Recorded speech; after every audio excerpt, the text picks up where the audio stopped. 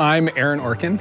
I'm an emergency and public health and preventive medicine physician, and I'm a scientist with the Li Ka-shing Knowledge Institute and the MAP Center for Urban Health Solutions. My name is Sean Rourke. I'm a scientist and neuropsychologist with the MAP Center for Urban Health Solutions at St. Michael's Hospital. I was very interested when I was a kid being a vet. I loved animals. It came pretty soon that I wanted to be a doctor because I really liked the idea of how bodies worked and I didn't find people icky. My spare time passion always has to do with wilderness stuff. I like to cook. I learned from some really good people when I was growing up. My mom in particular. It's a real passion of mine. I love it and I'm good at it.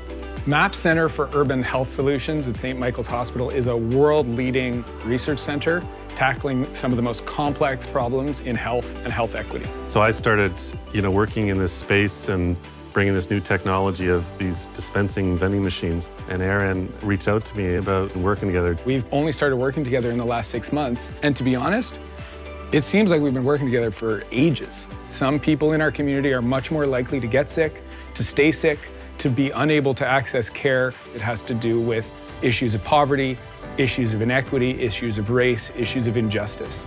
I've been working on finding ways to get people who live and work in shelters to be able to access more health services.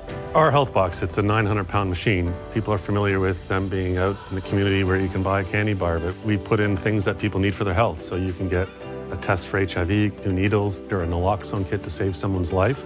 There's 25 slots and you can put 25 things in it. If you can bring those interventions right into where they're living, right into the shelter, make them accessible 24 hours a day, all of a sudden people can get access to the things that they might need to make themselves healthier and take control of their own health. This really seemingly simple thing like a vending machine is actually a really more complex solution to a complicated problem. There's no question in my mind that this is going to have a huge impact.